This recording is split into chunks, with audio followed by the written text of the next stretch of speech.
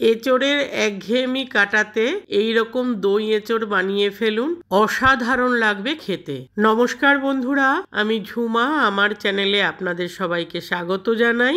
এর জন্য মিক্সির জারে চারটে কাঁচা লঙ্কা, দশ বারো কোয়া রসুন, দেড় ইঞ্চি পরিমাণে আদা কুচিয়ে নিয়ে, মাঝারি আকারের একটা পেঁয়াজের এই অংশটা ফেলে দিয়ে টুকরো করে মিক্সিতে দিয়ে এটাকে ফাইন পেস্ট করে নেব। এই রকম পেস্ট করে নিয়েছি। আরেকটা পেঁয়াজকে দু টুকরো করে নিয়ে এই অংশটাকে ফেলে দিয়ে ছোট ছোট টুকরো করে মিক্সিতে দিয়ে এই রকম রাফ পেস্ট করে নিয়েছি। এঁচড় কেটে লবণ হলুদ দিয়ে সেদ্ধ করে নিয়েছি।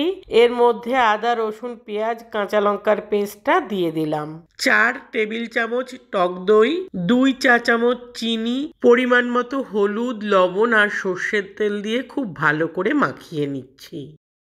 খুব ভালো করে মাখানো হয়ে গেছে।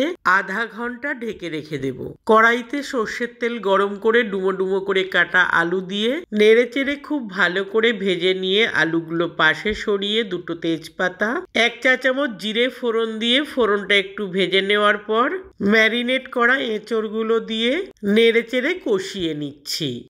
হাফ চা চামচ কাশ্মীরি লাল লঙ্কার গুঁড়ো দিয়ে আবারও নেড়ে চেড়ে কষিয়ে নিচ্ছি। অনেকটা জল বেরিয়েছে, কষিয়ে জলটাকে শুকিয়ে নেব।